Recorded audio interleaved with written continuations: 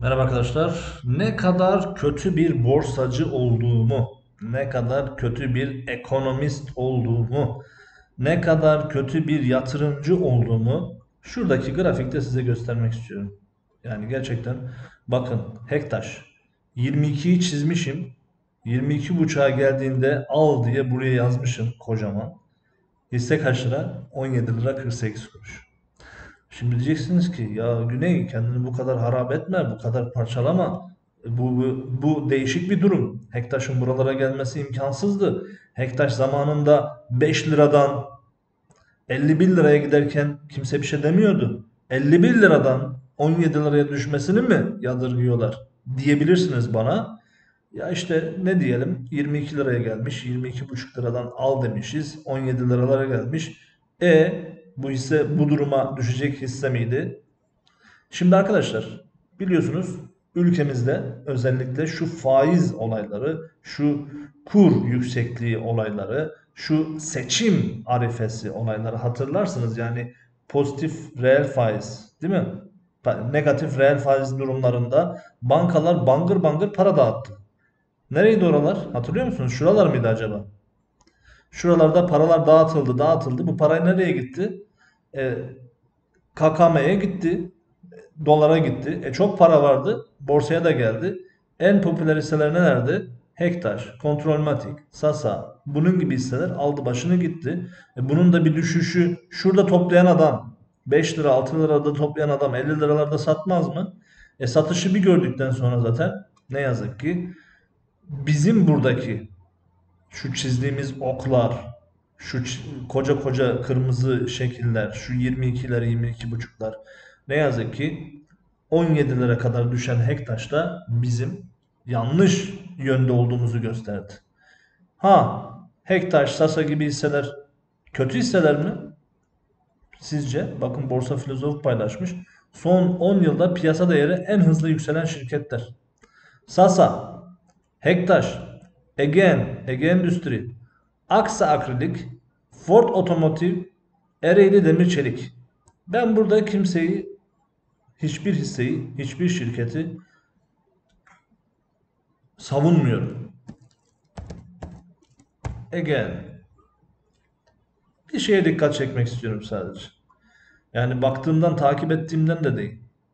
Şöyle bir Ege'nin Egen niye buralara kadar gelmiş diye hiç sordunuz mu? Hiç aklınıza geldi mi? Ege Endüstri. Değil mi? Yanlış bakmıyoruz. Evet Ege Endüstri Ege. Şurada örnek veriyorum. Farz edin ki şu bölgede dediler ki vay hektaş Ege Endüstri şöyle gidecek böyle gidecek. 7050 liralardan Ege Endüstri düşmüş 4000 liralara. Şurada Ege Endüstri 1600'lerden nereden baksanız kaç ay bekletmiş? 11 Ocak'tan 29 Kasım'a kadar aşağıda bekletmiş. Bakın şurası 1600'lerden 1100'lere 1050'lere kadar düşmüş. %60 kayıp değil mi? %50 %60 kayıp. Yani demem o ki şirkete güvenin arkadaşlar. Hissenize güvenin arkadaşlar. Eğer onun çalışmalarının devam ettiğini düşünüyorsanız bakın bu da Sasa. Bakın 38 demişim. Şu an 34 liralarda bakın. Eğer şirketinize güveniyorsanız, bu şirketin çalışmalarının devam edeceğini düşünüyorsanız, 3 yıl, 5 yıl vadeniz varsa yani fiyat düşüklüğü sizi üzmemesi lazım. Değil mi? Neydi? Her gün hamburger yiyen bir kişiye hamburger fiyatı düştü dediğin zaman sevinir değil mi? Hoşuna gider. O ne güzel ben her gün zaten yiyeceğim bu hamburgerden. Düşmesi ne güzel der. Ama geldiğimiz noktada uçan kaçan hisseleri gördüğü zaman yanında vay efendim hack taşlasa niye düşüyor? Vay efendim kontrolmatik onlar gibi yanındaydı ama kontrolmatik o kadar düşmedi. Doğru. Yani burada patron yanlış konuşmaları, yanlış hamleleri de mutlaka etkili. E Hektaş'ta hani bu benim anladığım kadarıyla yüksek faiz ortamında bankadan finansman sağlayamayanlar çoğunlukla hani o hisseyi satılabilir duruma borsada işlem görebilir duruma çevriliyor ya.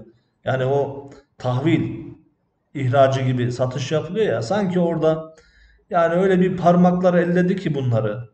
Düş kardeşim, düş kardeşim. Ben aşağıdan toplayacağım. Benim aşağıda maliyetim var. Birdenbire patlayıp gideceksin mi dedi acaba diye düşünmeden edemiyorum. Yine de borsa filozofu arkadaşımıza teşekkür ediyoruz. Bilmem anlatabildim mi? Son 10 yılda piyasa değeri en hızlı yükselen şirketlerin içinde Sasa var, Hektaş var, Ege Endüstri var, Aksa var, Ford var, Ereğli Demir Çelik var. Ereğli Demir Çelik hakkında daha çok değil ya 5 ay önce 6 ay önce neler neler söylüyorlardı ya. Neler neler söylüyorlardı. Türkiye'nin bir numarası ya demir çelik sektörünün bir numarası hakkında şurada o Mittal mi satmıştı ya şuralarda ya 50 liradan 28 liralara kadar düştü bu hisse. E ne oldu? Şirket hisse yandı, fabrika yandı mı? Şirket yandı mı? Bitti mi? Ne oldu? Çalışanları mı kovdular? Bakın tekrar toparladı, tekrar gidiyor. Yani bütün hisselerin, bütün şirketlerin günü gelecektir. Ki geçen yıl Hektaş'ın, Sasa'nın bir buçuk yıl önce günü geldiği gibi diğer biriktirdiğimiz hisselerin de günü gelecektir arkadaşlar. O yüzden her zaman söylediğimiz gibi tek bir hissede hiçbir zaman bir iki hissede yatırımınız olmasın. Bir portföy yapın kendinize, bir sepet oluşturun. Her sektörden mutlaka birer tane şirketiniz olsun. Ha diyorsanız ki yok kardeşim ben sürpriz ata oynayacağım, ben zengin olacağım diyorsanız tabii ki ona da hay hay içinde sürpriz hisseleriniz de olsun. Ama geldiğimiz noktada çalışan, halen adından söz ettiren, kendini hatırlatan şirketler yani battı bitti demek bana biraz yanlış geliyor. Tabii ki kötü zamanlar olacak. Çok çok ne yaparsınız? Alımınızı durdurursunuz. Yedek akçanızı aktarırsanız ne zaman ki bu şirketlerin düşüşü düşer, durur. O zaman tekrar alım yapmaya başlarsınız, biriktirmeye başlarsınız. Ha derseniz ki yok kardeşim ben işte kısa vadeciyim. Ben trade ederim. Ereğli'de de trade olmaz ama mesela kontrolmatikte ben trade ederim. Ben işte şuradayken alırım, yukarı gitti satarım diyorsanız zaten sizin bu videoda ve şuradaki bilgilerde işiniz yok. Siz 10 yıllık, son 10 yıllık piyasa değerlerine bakmazsınız ki. Umurunuzda olmaz.